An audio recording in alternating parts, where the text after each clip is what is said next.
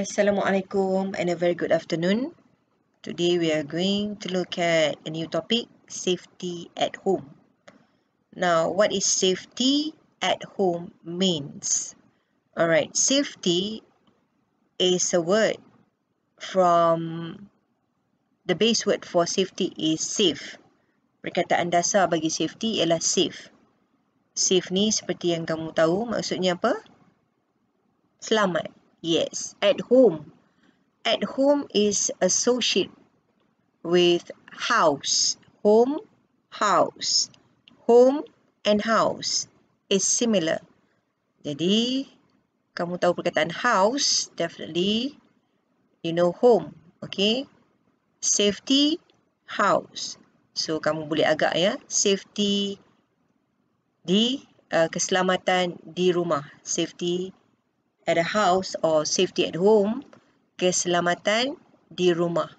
Now, before we proceed, let us look at words that will be very relative dengan keselamatan di rumah. The word like socket, S-O-C-K-E-T, socket. I think you know the socket. Kamu tengok gambar tu. Kalau kamu nak charge phone kamu pun, kamu perlukan socket, right? Uh, or laptops and banyak barangan elektrik yang lain. The next word is matches. Matches ialah mancis. Ah, saya tak pasti kamu masih lagi guna mancis ke tidak. Ah, mungkin ada yang tahu apa itu mancis kan? Next, the word is burn. B-U-R-N. Burn. Right, burn ni ialah terbakar. Ya. Yeah? Dan bila terbakar, especially kalau kat tangan, dia akan melecur lah. Right, the next is oven. O-V-E-N is oven. Oven. Oven, bukan oven. Oven. And tungku atas oven ni, biasanya atas oven dia ada tempat macam tungku ya. And that one is called hob. H-O-B, hob. Alright, now have a look at the uh, words here. Now, uh, abaikan yang nombor satu. Teacher yang akan baca. You don't have to listen uh, today. You just have to listen to me. Kamu hanya dengar teacher hari ni. Uh, there are uh, words here or a sentence. Stay safe at home by following these easy rules. Rules, undang-undang atau peraturan ya. So stay safe lah kalau kamu ikut peraturan ni, right? Now, uh, yeah, I would like to highlight the word here. Um, let's have a look at the word. Um, shouldn't, alright? The word shouldn't, alright? I'm going to highlight the word shouldn't here. Shouldn't ni uh, adalah perkataan yang asalnya ialah should not. S-H-O-U-L-D should not. Okay. Ia sama dengan, oh, sorry. Sama dengan shouldn't. And apostrophe. Apostrophe. Koma kat atas tu kita panggil apostrophe. Shouldn't. Should not or shouldn't. So, itulah dua perkataan dan kita panggil ini contraction. Okay, this one we call it contraction. Shouldn't. Kependekannya ya. Now, you look at uh, number one. You shouldn't play with knives. Now, kalau kamu tengok dekat sini, uh, cuba kamu uh, perhatikan uh, manakah gambar yang sesuai untuk di, uh, di I mean, uh, it's match with kenyataan number one. You shouldn't play with knives. Ada berapa gambar ni? Ada A, B, C, D, E, F, G. Ada tujuh gambar. There are seven pictures here. Which one match with the first statement? You shouldn't play with knives. Kamu jangan ya. Kamu tidak patut main dengan knives. Knives ni uh, apa? I'm not going to tell you. Now you look at number two. You shouldn't touch cleaning products. Cleaning products. Okay, kamu tak patut uh, sentuh ya. Uh, produk pembersihan. Kadang-kadang beracun dan sebagainya. Kadang-kadang meluk akan bagi uh, masalah pada kulit kamu dan sebagainya. You shouldn't touch cleaning products. So have a look which one. Number three, you shouldn't play with matches. Ha, tak patut kamu main dengan mancis. Number four, you shouldn't touch the oven when it is hot. When it is hot. Manakah gambar dia? Number five, you shouldn't run up and down the stairs. Ya, shouldn't. Jangan berlari uh, naik atau turun dari tangga. Very dangerous, ya. Ha, teacher pernah ada anak murid juga yang patah tangan dan sebagainya. Oh, it's very dangerous. Ha, dekat rumah kamu kalau ada tangga kan, please don't run up and down. Uh, number six, you shouldn't jump on your bed.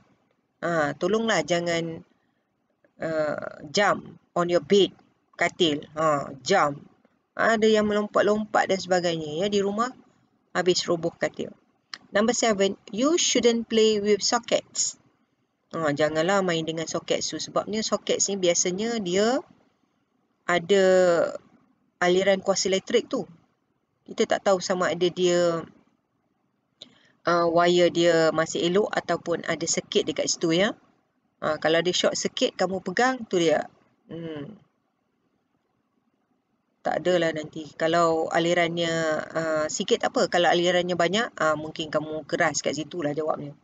So these are the rules that you are to follow uh, in in your house at home uh, sebenarnya banyak lagi safety dekat mana-mana dan sebagainya. So our focus today is uh, to have a look at safety at home, okay? Yang kamu boleh uh, buat di rumah lah, okay? What you can do at home, okay? Now, what you're going to do today, apa yang kamu perlu buat hari ini ialah uh, first of all, pastikan kamu tulis perkataan ni socket, matches, burn and oven.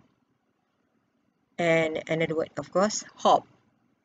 Okay, nak lukis, lukislah. Tak nak lukis pun tak apa. Tapi pastikan kamu tulis uh, maksudnya dekat tepi tu. Yeah. Uh, matches tu apa, burn and all. Right?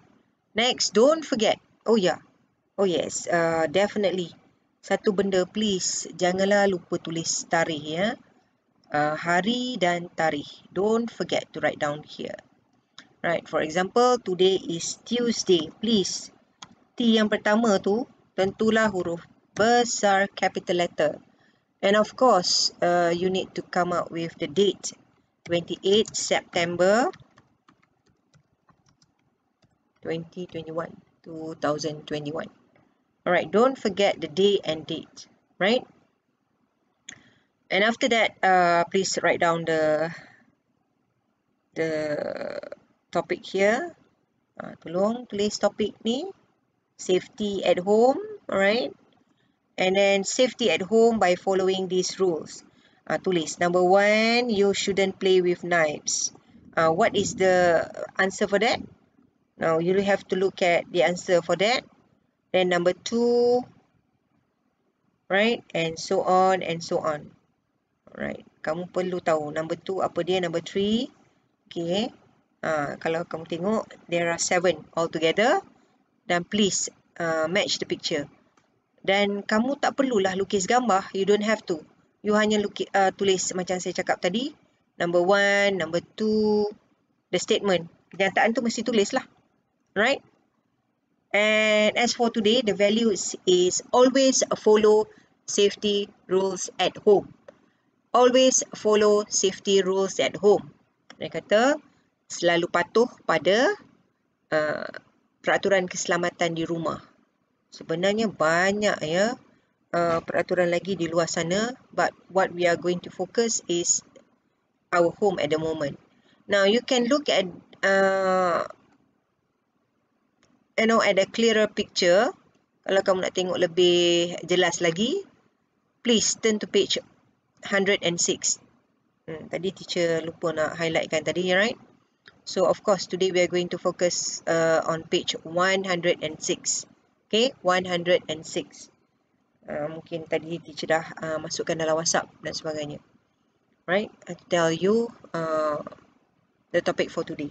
So I guess that's about all.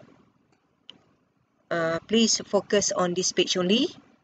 That's about all today. Boys and girls, have a pleasant day. Goodbye.